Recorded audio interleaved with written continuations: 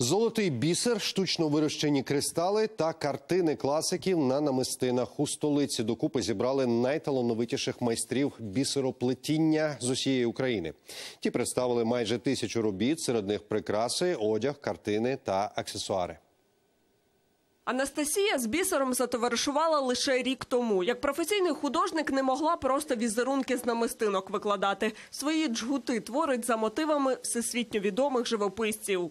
Вот это по картине «Сидящая женщина» Пабло Пикассо. А ще Пауль Клеє та Клод Моне картини останнього Анастасія перетворила на триптих з намистин. Тут как бы представлено сразу три картины, руанские соборы.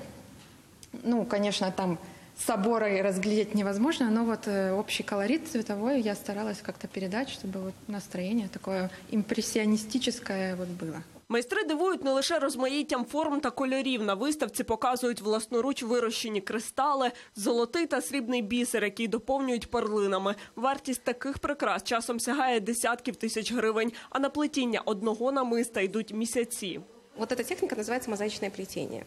Это вот, эм, как вы видели, наверное, кладку кирпичную, да, идет кирпичик за кирпичиком. Вот, вот это вот оно и есть. Это объемные звезды, они пустые внутри, а- они держатся за счет натяжения и архитектурного там, подбора да, эм, позиций. Цілий поверх на виставці виділили іконам. Ці роботи розмальовані вручну, а бісером розшиті без схем. Їхню авторку, художницю-аматорку, куратори виставки знайшли в Івано-Франківську.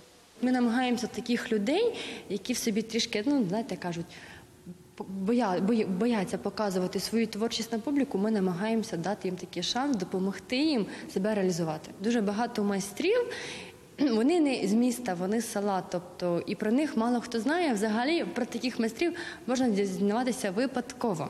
Таких авторів самородків куратори виставки розшукали майже 40. Свої роботи презентують представники усіх областей України. Ольга Сас, Андрій Кузнєцов, телеканал Інтер.